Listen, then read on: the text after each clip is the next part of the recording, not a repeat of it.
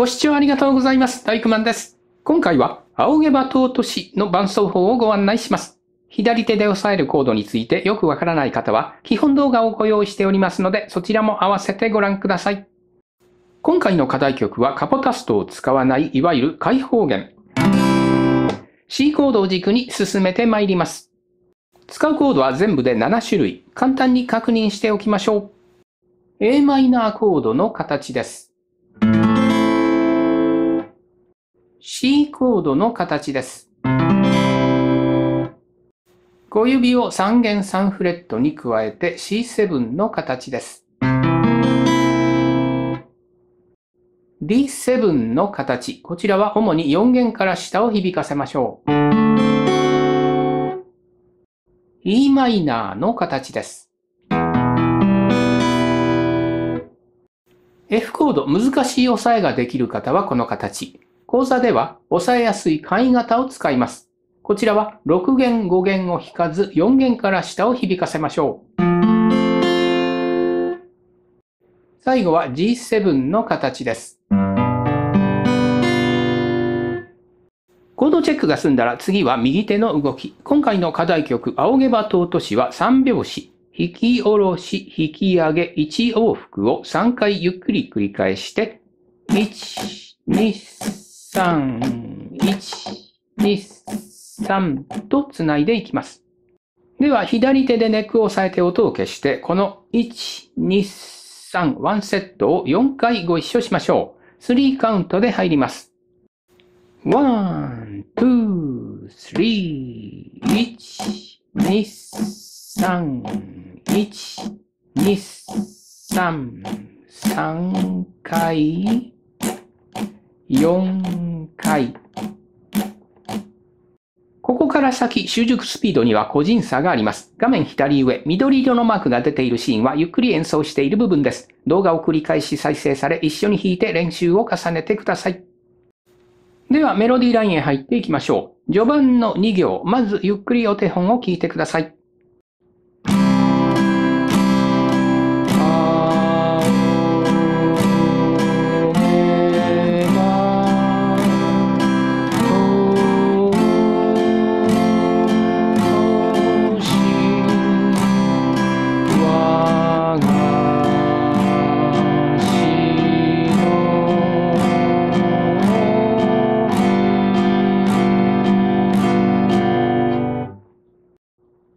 進行を見ておきましょう。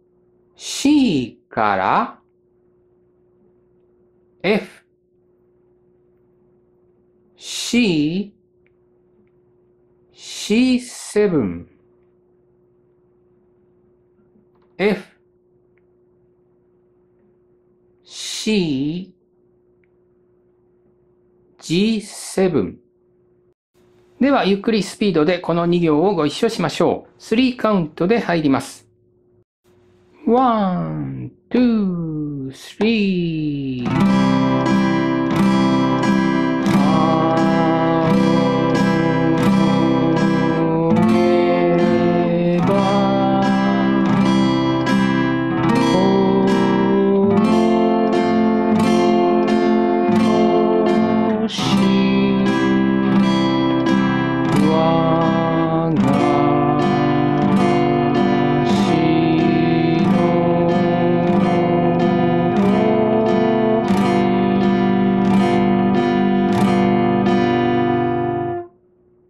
この2行が標準スピードに達すると、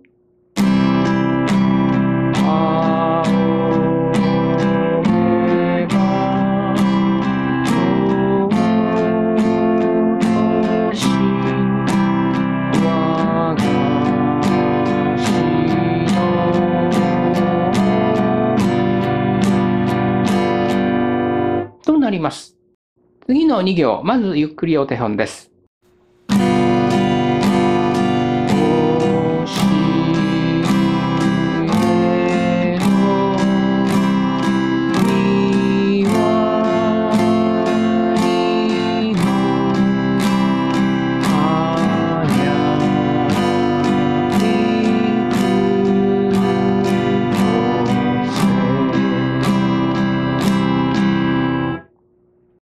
コード進行です。G7 から C、F、C、C7、F、C、G7、C。では、この2行もゆっくりスピードでご一緒しましょう。3カウントで入ります。1、2、3。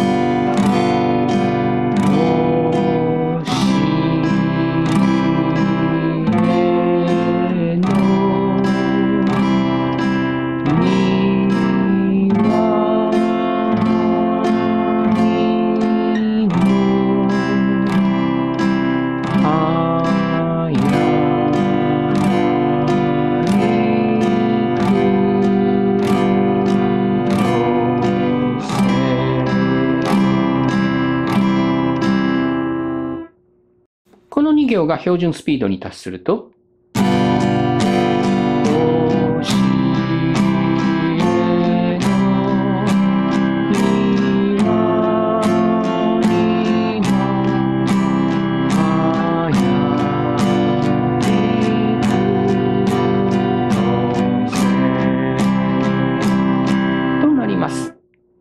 次の2行、まずゆっくりお手本を聞いてください。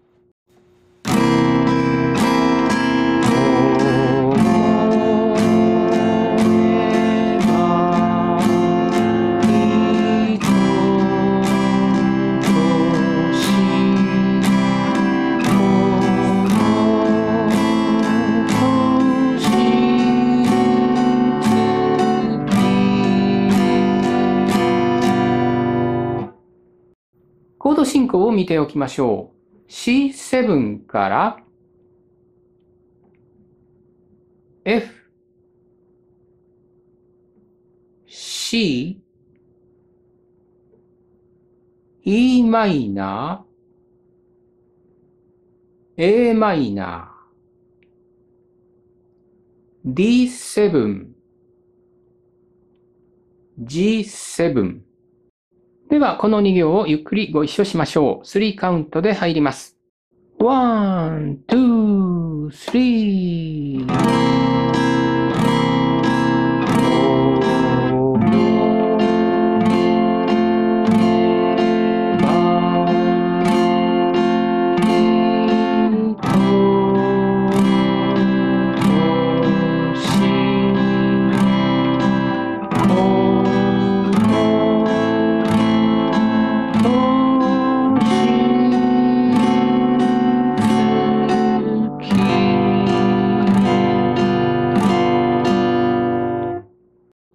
行が標準スピードに達すると、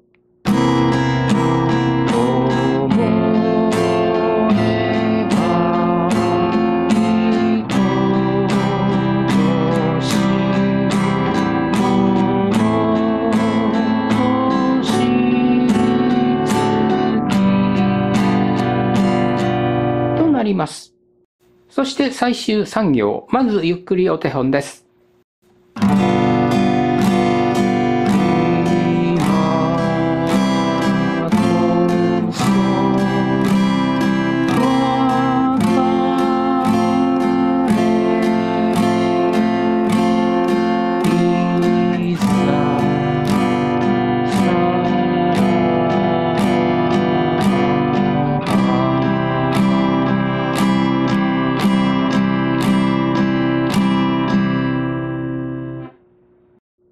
進行を見ておきましょう。G7、C、F、C、C7、F、G7、C、1行目から2行目にかけて分かれ目を伸ばす部分ですが、実際の合唱などではたっぷりと間を取って、いざさらばへつなぐことが多いようです。特に高齢者の方向けには、分かれ目の目と同時に1、2、3、4、5とたっぷり5カウント取っていざへつなぐと歌ってくださる方の満足度も高いようです。そこで今度はゆっくり間を取った弾き方を練習してみましょう。カウントを取りながらのお手本演奏をまず聞いてください。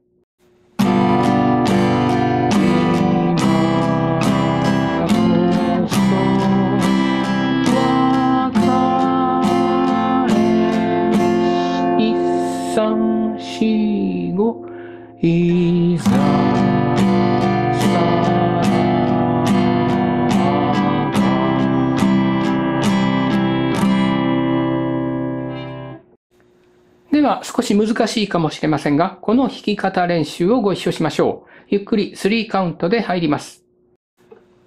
1、2、3。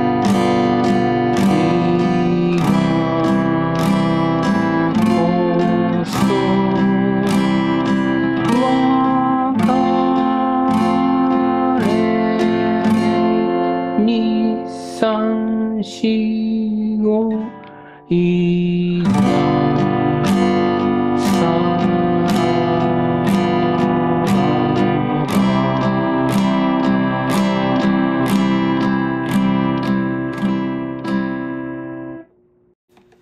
の弾き方で標準スピードに達すると、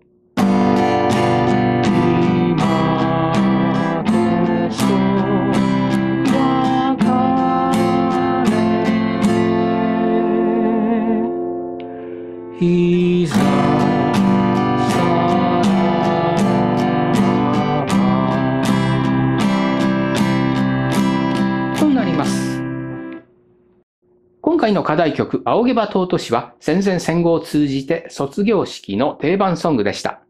卒業生が青毛羽尊しを歌い、在校生が蛍の光で別れを惜しむ。今も口ずさむ旅、遠いあの日が蘇ってくる方も多いことでしょう。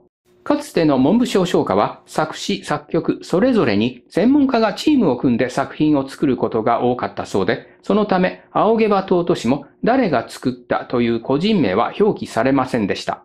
一方でこの作品には長く語り継がれた一つの謎がありました。それは美しいメロディーライン。まだ西洋音楽を学び始めたばかりの当時の作曲家の力で到底生み出せないものだったので、本当に日本製かと疑問視する声が多かったのです。それが2000年代になってアメリカのある大学図書館で原本となる楽譜が発見されました。やはり卒業をテーマにした作品でしたが、本国では評価されなかったようです。おそらくその楽譜が明治時代日本に持ち込まれ、日本語の詩をつけられ、我が国では愛称歌として定着しました。というわけで、この名曲、詩は日本製、メロディーはアメリカ製。そんなエピソードも披露しながら歌声を上げるのもまた一興。